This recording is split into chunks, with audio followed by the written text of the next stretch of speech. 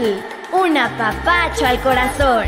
Niñas y niños. Inixtli Inyolotl, sabios y de corazón firme. Respeta, agradece, practica la paz, la solidaridad. Sé honesta, sé honesto. Hazlo con el corazón, da de corazón. De corazón.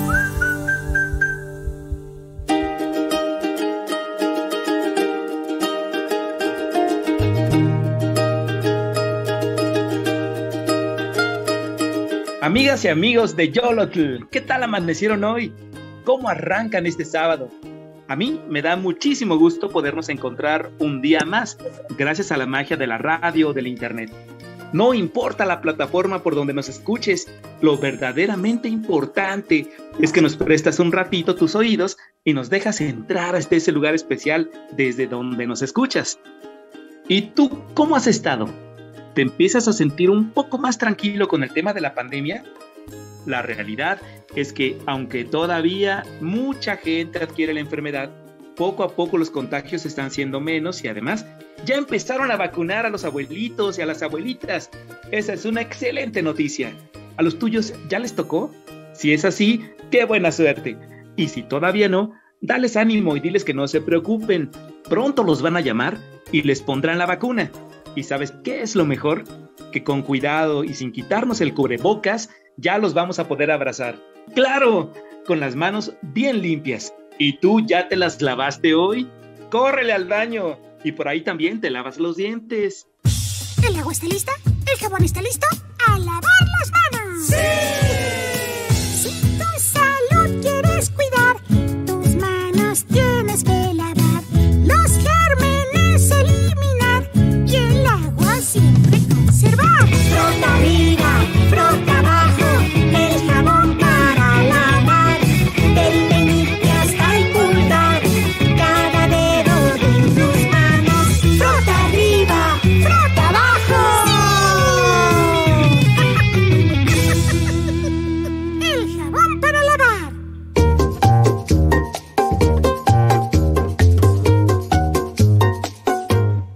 ahora sí, con las manos bien lavadas me presento. Yo soy Manuel y desde mi casa me conecto a la plataforma digital de Yolotl con mucho gusto para saludar y mandarles un fuerte abrazo virtual a mis colegas conductores de este programa, Carmina y Luca. ¿Cómo están? Bienvenidos. Hola Manuel, hola Luca y niños y niñas que nos escuchan desde sus casas y que están escuchando Yolotl.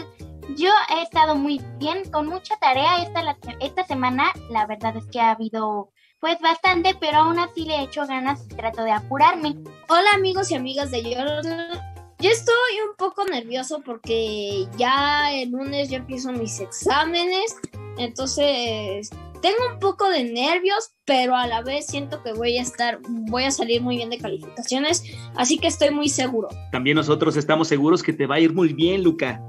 Antes de comenzar con el tema de hoy, me gustaría mencionar a todas las personas que se han comunicado muy amablemente con nosotros por medio del Facebook. A ver, ¿me ayudan? Claro que sí. El primer abrazo va para Tess González, que nos escucha desde Azcapotzalco y nos comenta que sus peluches, Ricardo, Duda y Bichiluz, escuchan el programa. Además, también nos solicitó por el Día Mundial de la Radio. También mandamos mucho cariño para Asmara Pereira, que nos comenta que los apapachos al corazón son muy importantes. Jorge Tinoco dice que el programa le encanta porque le llega al Yolotl. Y Juan Ernesto Guerrero nos comentó, la radio la puedes escuchar mientras haces otras cosas y nos acompaña en nuestras labores diarias. También Gloria Jacobet pasó lista junto con el buen Matt.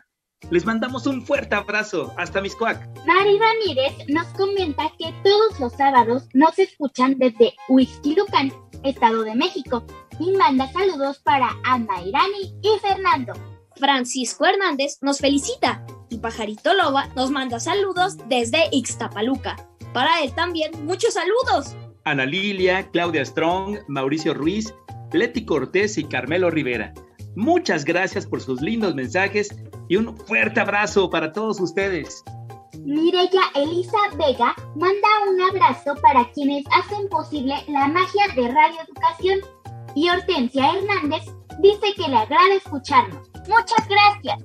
El niño Matt nos cuenta que los besos que le gusta son los de la mañana, cuando su mamá lo despierta para desayunar y conectarse a sus clases. Jimmy Hernández compartió con nosotros que el programa de la semana pasada, en el que hablamos de la radio, le recordó a sus abuelos.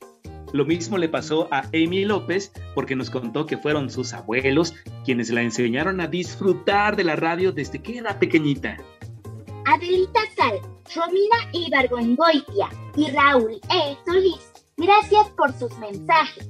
Beth Lara nos escribió que Yolo le deja muchas sonrisas cada sábado y que Andrea no se pierde ningún programa. Muchísimas gracias. Adriana Guerrero, Blanca Leonor Ocampo y Félix Mejía, les mandamos un fuerte abrazo por tan bonitos mensajes que nos dejan en el Facebook.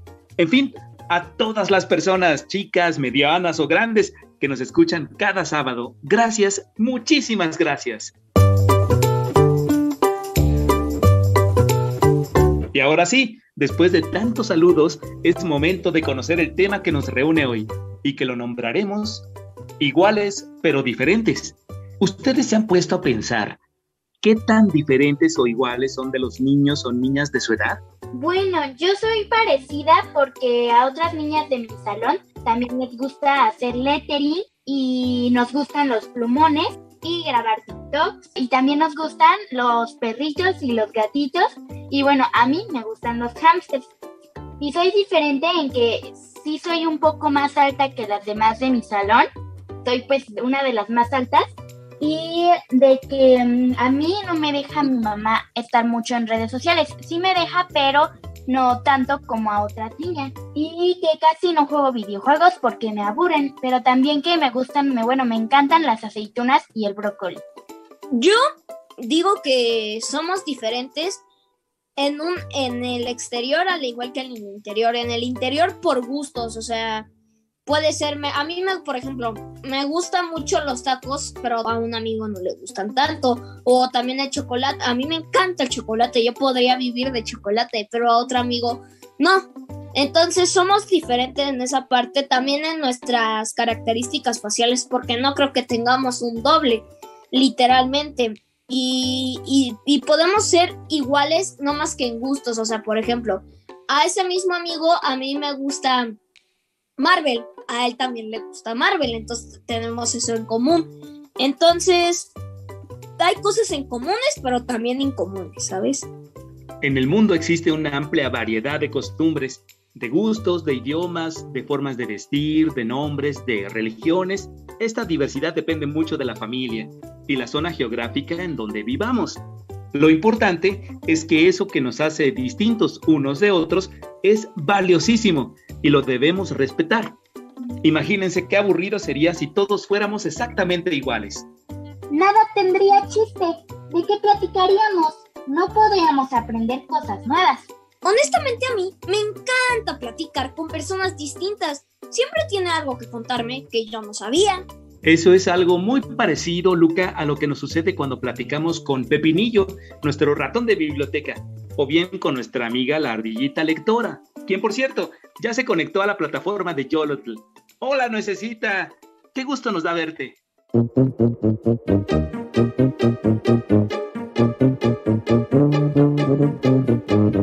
hola Manuel, Carmi y Luca. Qué gusto volverlos a ver. A mí, aunque soy súper diferente a ustedes, me encanta pasar este rato compartiendo nuestras distintas ideas. Yo nunca había tenido como amiga a una ardilla. Y aunque al principio me parecía un poco extraño, cada día que te veo aprendo muchas cosas y me encanta. Claro que sí, Carmina.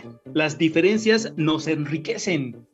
Y entonces, Manuel, porque lo más común es que cuando vemos a alguien distinto, lo hacemos a un lado, a veces sin querer. Mm, bueno, eso sucede por muchas razones, Luca. Por miedo a lo desconocido es una de ellas. Por falta de información, por pena y a veces sí por mala onda. ¡Uy! ¡Es cierto! Y eso se llama discriminar. Todas las personas que viven en este mundo son diferentes, son únicas y sin embargo, al mismo tiempo, todos son iguales, porque tienen los mismos derechos. Pero a muchos de ustedes se les olvida y discriminan casi sin darse cuenta. Por ejemplo, ¿se acuerdan cómo tratar presentaron a su último compañero nuevo que entró a clase? Bueno, la última compañera que entró se llama Erika y no la conocí tanto porque pues entró como un mes antes de irnos a pandemia, entonces eh, pues por eso no la conocí tan bien, pero cuando, cuando la vi eh, fue como un lunes que era de escolta, entonces pues estaba, como ella es una también de las más altas, estaba hasta el final y yo me pues también me formaba hasta el final, entonces por eso la vi, se me hizo extraño ver a alguien que no conocía, ¿no? Y pues resulta que ya cuando entramos al salón, pues ya me dijeron que se llamaba Erika y de que era nueva. Y le pregunté que si quería jugar conmigo en el recreo, pero pues aunque le pregunté y me dijo que sí, creo que no jugamos en el recreo. Pero bueno, aún así me, me llevo bien con ella. No, no somos así muy amigas que digamos, pero tampoco me cae mal. Ok, miren, yo tuve dos nuevos compañeros, pero fueron en clases en línea, así que no los conozco tan bien. Pero fuera de clases en línea, la última que yo recuerdo, de hecho es mi mejor amiga. Sí, sí, sí, sí. De hecho es mi mejor amiga, entonces, pues se podría decir que pues me llevé bien con ella, entonces. Estoy seguro que sus experiencias nos ayudarán a comprender mejor el tema de hoy. Una de las acciones más importantes para tratar a todos dándole su lugar es con base en el respeto. No importa lo diferente que sea a nosotros, si tiene una religión distinta, si su color de ojos o de piel o de cabello es muy diferente, o si habla un idioma que no entendemos, o si habla diferente o raro, él o ella vale exactamente lo mismo que tú o que yo. Les escriben al Facebook de Yolotl. Absolutamente todas son distintas entre sí. Algunas son adultas, otras son pequeñas, algunos son hombres, otras mujeres. Unos viven aquí en la Ciudad de México y muchos otros no. Si les preguntamos más, seguramente encontraremos más diferencias. Tal vez haya quien sepa hablar otro idioma, quienes tengan religiones distintas o quien no la tenga. O a lo mejor hay alguien a quien le gusta mucho la música y otros prefieren la poesía o los cuentos. Y eso es padrísimo porque se imaginan cuántos oídos distintos nos escuchan. Y aunque todos seamos tan distintos entre nosotros mismos, todos merecemos el mismo respeto. Porque valemos lo mismo y tenemos los mismos derechos. Tú respetas mi opinión y quién soy yo, yo respeto la tuya. ¿Y quién eres? ¡Eso! Muy bien dicho, Luca. Todo esto me lleva a presentarles el cuento de hoy, que habla de dos amigas muy diferentes que aprendieron a conocerse, a quererse y respetarse a través de las cartas. Vamos a escuchar iguales pero diferentes, amigos por correspondencia. Historias con valores que te tocan el corazón, que te llegan al Yolotl.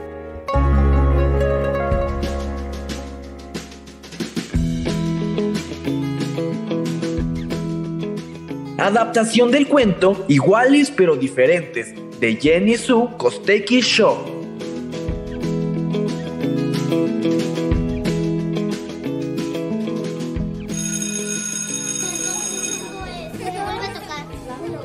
¿Qué tal, niños y niñas? Buen día. Todos saquen una hoja de papel y un lápiz. Mm, ¿Va a dictar, profe? Mmm, no exactamente. El ejercicio que vamos a hacer hoy se llama Amigos por correspondencia. Nos olvidaremos un momento de que existe el correo electrónico y con su puño y letra le escribirán una carta a un niño o niña que no conocen, pero que vive del otro lado del mundo. Igual le pueden incluir dibujos. ¿Y qué debe de decir la carta? Mmm, cuéntenles quiénes y cómo son, cómo viven y cosas así. ¿Y eso para qué, prof? 1. Voy a revisar su ortografía. 2. Podré darme cuenta que también describen su entorno. Y 3. Mandaremos esa carta por correo tradicional. Ustedes recibirán también una carta de otro niño o niña que vive lejos, muy lejos. Este es un ejercicio entre escuelas de diferentes partes del mundo. Así descubrirán cómo es y cómo viven los niños del otro lado del planeta. ¡Qué bien! Suena divertido. Así empezaba la semana en la escuela. Los alumnos se entusiasmaron con el ejercicio que les propuso el maestro. Todos empezaron a escribir y a dibujar. Les llevó un largo tiempo.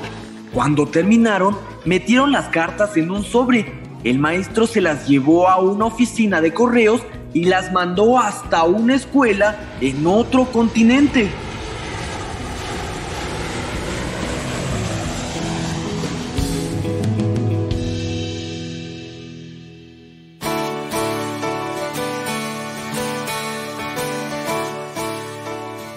Al pasar varias semanas, el maestro entró al salón con un montón de cartas en las manos. ¡Súper! Aquí tenemos las respuestas a sus cartas. Les daré la suya y ahora podrán seguir escribiéndose directamente con su nuevo amigo por correspondencia. En unos meses hablaremos de sus resultados y qué tanto les gustó la actividad. Elia había hecho un dibujo muy bonito de su mundo y su carta había llegado hasta un país muy pero muy lejano, la India. Este es mi mundo. Grande, redondo, con mucho mar azul, los continentes verdes y afuera en el espacio están el sol y la luna. Del otro lado del mundo, en la India, una niña hizo otro dibujo y se lo envió a Elia. Este es mi mundo. Grande, redondo, con muchos animales, como tigres, bueyes, gansos y un palacio que se llama Taj Mahal. Igual, pero diferente al tuyo. Postdata, ¿cómo te llamas?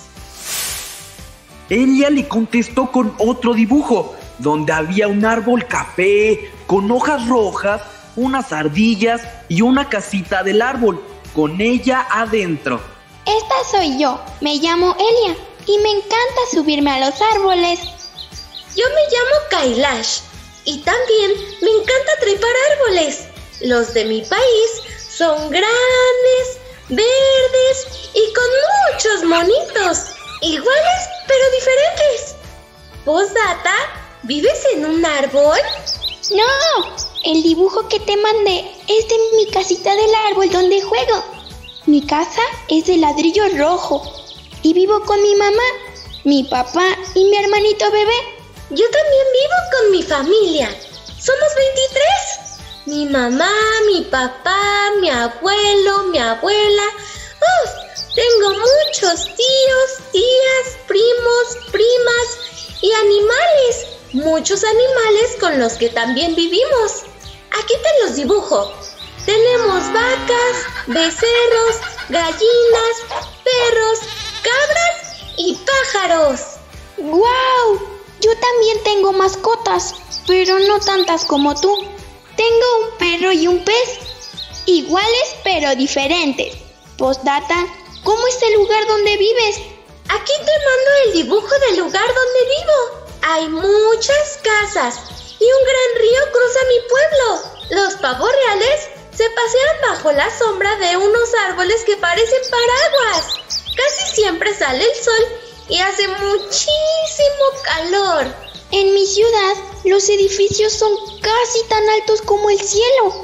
A veces, el sol se esconde tras ellos. Las calles están llenas de coches, de taxis y de autobuses.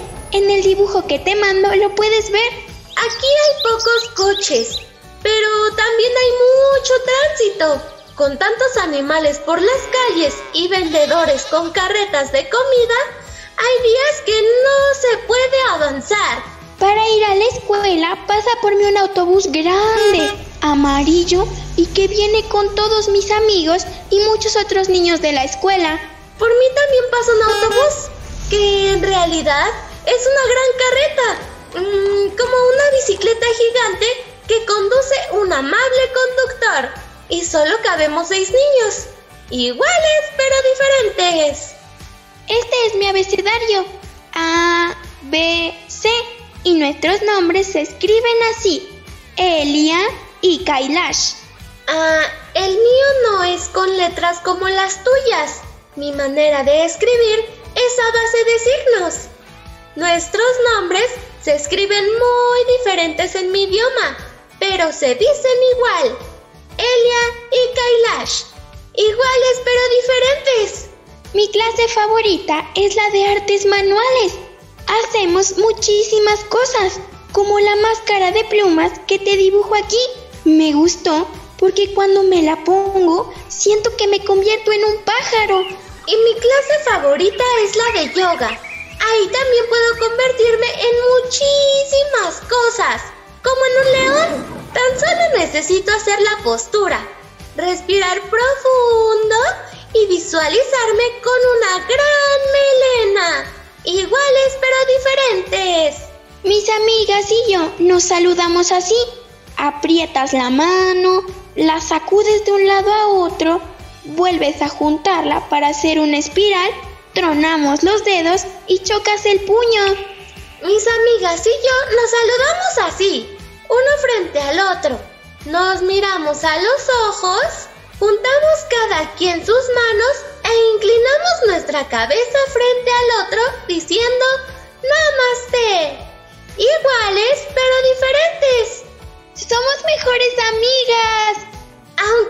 Vivamos en mundos completamente distintos. Sí, diferentes pero iguales. Y así, gracias a los amigos por correspondencia, niñas y niños aprendieron que las diferencias nos enriquecen, nos enseñan de los demás y nos permiten conocer mundos maravillosos. Iguales pero diferentes. Tiene la risa color, tiene color la amistad. ¿De qué color son los sueños? La paz y la libertad.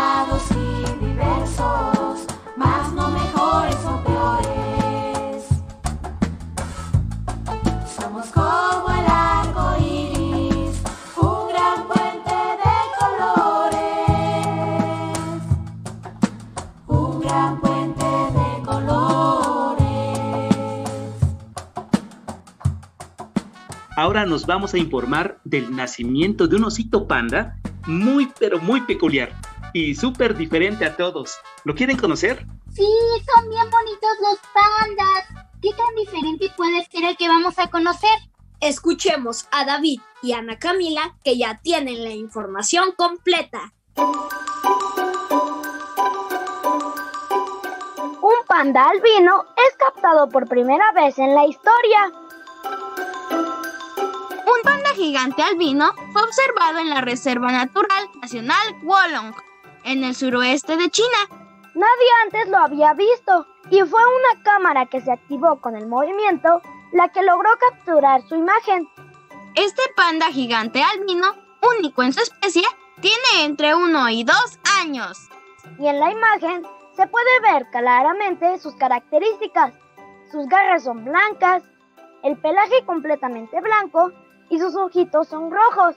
¿Cuál es la salud de este panda albino? Un experto de la universidad en Pekín dijo que el panda gigante albino se veía fuerte y sus pasos eran constantes, una señal de que su mutación genética no le hacía estar enfermo, solo que no se sabe si es hembra o macho. Ya se sabía que los pandas podrían sufrir albinismo, pero esta es la primera vez se consigue fotografiar a un ejemplar completamente blanco. Y es que el albinismo se caracteriza por la ausencia de color en la piel y no existe cura para esto. Los animales con albinismo generalmente corren un mayor riesgo de ser víctimas de los depredadores en la naturaleza. Esto pasa porque pueden ser vistos más fácilmente y por su misma característica tienen una vista más pobre. Desde Yolotl le mandamos un fuerte abrazo a este panda albino porque queremos que viva mucho. Y si nos está escuchando, le recordamos que ser diferente lo hace un pandita único.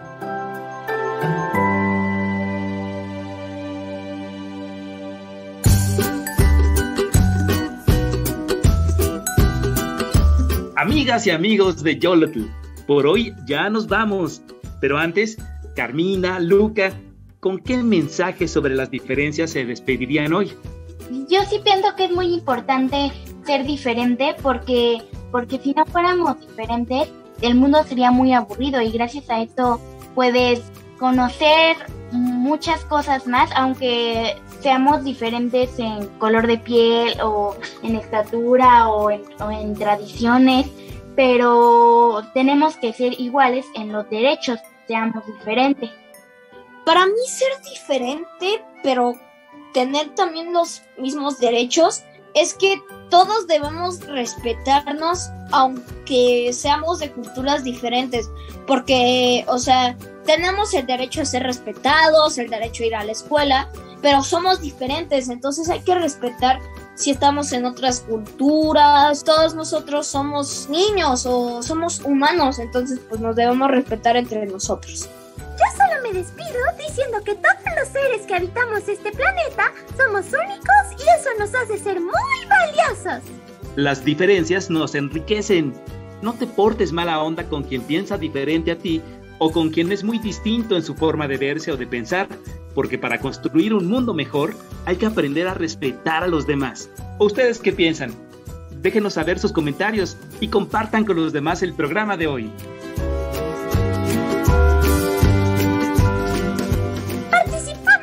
Realización de este programa Alejandro Hernández y Mónica Esquivel. En las voces, Aileen, Carla, Ana Camila, Ángel, Mauricio, Eve, David y Regina como la ardilla nuececita. En la conducción, Carmina Colín, Luca Ruiz y Manuel Chávez. Yolotl es una producción de Radio Educación a cargo de Ana Aguirre.